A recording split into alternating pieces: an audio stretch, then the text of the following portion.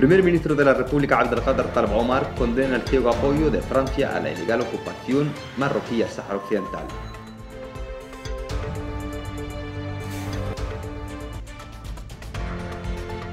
La Unión General de Trabajadores de Argelia afirma que la lucha saharaui siempre contará con el pueblo del gobierno y pueblo argelino.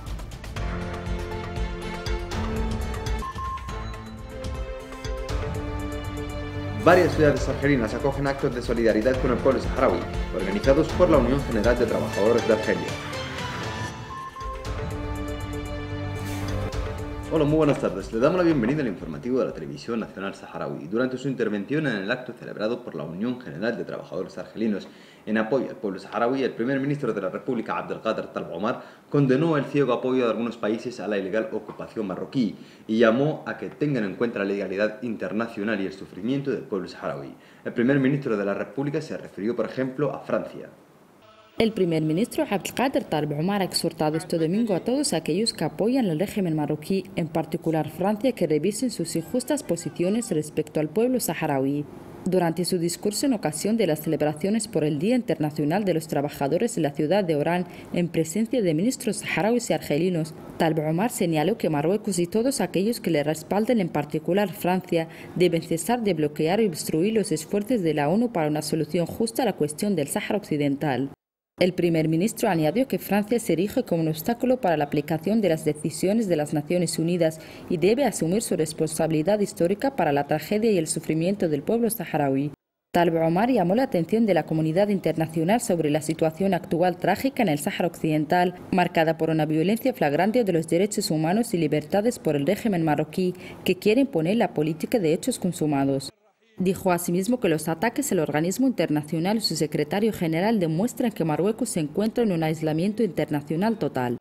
La ciudad de Orán ha sido elegida sede de las celebraciones por las fiestas del primero de mayo que este año se ha dedicado a la solidaridad del pueblo argelino con el pueblo y los trabajadores saharauis.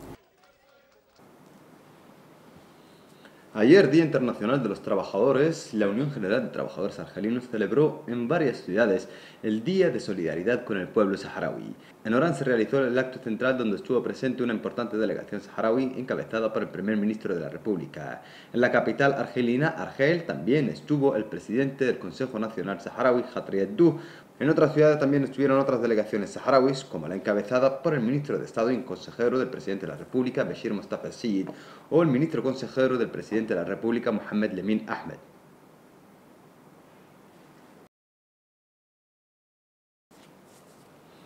En oral, el secretario general de la Unión General de Trabajadores Saharauis reafirmó que el apoyo del pueblo argelino y su gobierno hacia la lucha nacional es incondicional e irreversible, dado que emana de principios históricos de su país. Con motivo del Día Mundial del Trabajador, el secretario general de la Unión de Trabajadores de Argelia, Abdelmejid Sidi Said, en un acto celebrado en la ciudad argelina de Orán que el pueblo y el gobierno argelino siempre estarán junto al pueblo saharaui en su lucha por la libertad y la independencia. Para el líder sindical, el apoyo que muestra Argelia desde todas sus instituciones al Sáhara tiene un profundo arraigo histórico. Sidi Said declaró que esta nación que ha luchado tanto por la independencia no permitirá bajo ningún concepto que un pueblo quede bajo la ocupación de otro, como es el caso del Sáhara Occidental con Marruecos. Esta congregación multitudinaria de trabajadores señaló Sidi Said es una muestra más de que el pueblo argelino por completo, sociedad e instituciones sigue en apoyo y solidaridad con su hermano pueblo saharaui. Asimismo, aseguró que lo que piden los saharauis es tan sencillo como recuperar su territorio ocupado por Marruecos y vivir en él con dignidad como lo hacen el resto de los países del mundo. Y para conseguir este objetivo necesitan más compromiso por parte de la comunidad internacional.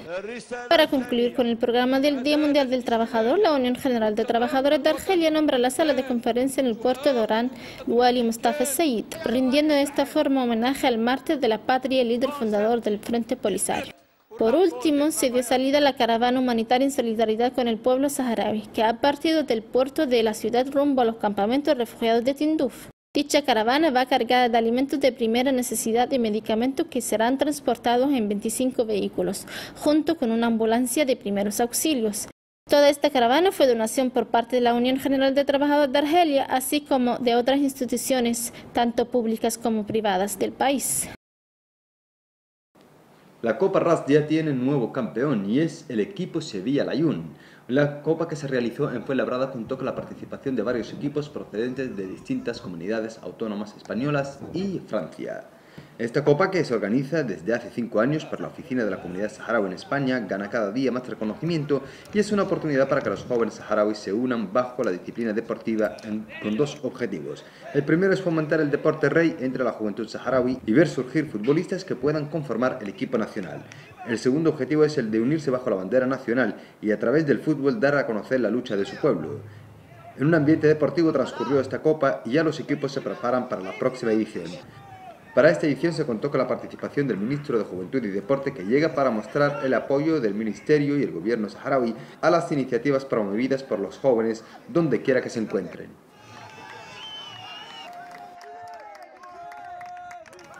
Diputados suecos invitan a la canciller Margot Wallström a visitar los campamentos de refugiados y las zonas liberadas del Sáhara Occidental y seguir así los pasos del secretario general de las Naciones Unidas, Ban Ki-moon.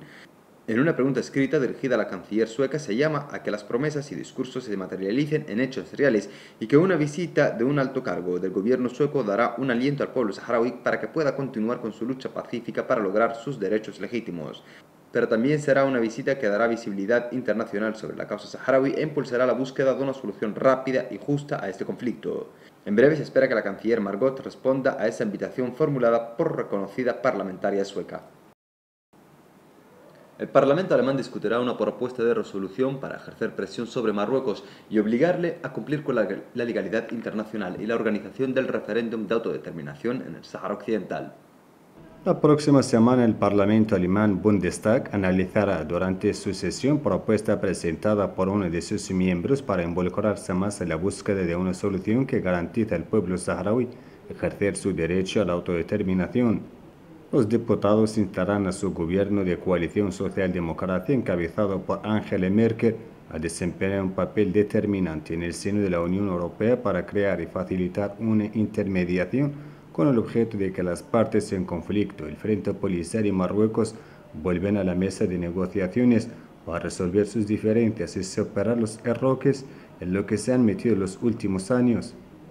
Los parlamentarios alemanes abogaron por crear fondo con el objetivo de paliar las necesidades básicas de los refugiados saharauis que en los últimos tiempos han visto aminorar la ayuda humanitaria. La llamada locomotora europea Alemania ha venido siguiendo muy de cerca la situación de los refugiados saharauis y otros diversos asuntos. Prueba de ello es la constitución del Grupo Interparlamentario de Amistad con el Pueblo Saharaui, al que asistió en su momento el coordinador para con Mohamed Haddad. El Centro Brasileño de Solidaridad con los Pueblos y la Lucha por la Paz, Zebra Paz, ha exigido a la comunidad internacional acelerar los trabajos y poner fin a la ilegal ocupación al Sáhara Occidental. De esta forma, el centro brasileño se suma a los movimientos mundiales que apoyan la justa lucha del pueblo saharaui y solicita un papel más contundente de las Naciones Unidas y la exigencia a que el Estado marroquí asuma su responsabilidad por la violación sistemática de los derechos humanos. El Centro Brasileño de Solidaridad con los Pueblos y Lucha por la Paz exige la liberación de todos los presos políticos saharauis encarcelados por el régimen de ocupación marroquí, además de la inmediata celebración del referéndum de autodeterminación.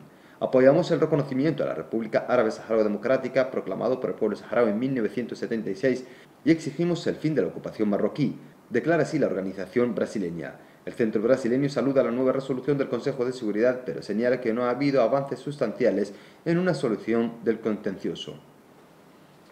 Hasta aquí llega nuestro informativo de hoy. Gracias por haber estado con nosotros y recuerden que pueden acceder a más información en nuestra página web que aparece en pantalla o en nuestra próxima cita.